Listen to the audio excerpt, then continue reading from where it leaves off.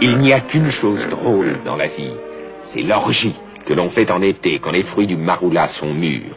Au début de la saison, les fruits sont délicieux mais difficiles à cueillir. Il faut être euh, très fort, ou bien alors très agile.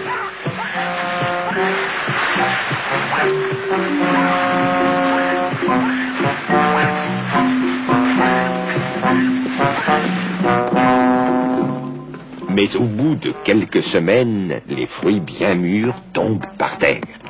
Alors tous les animaux viennent se gaver.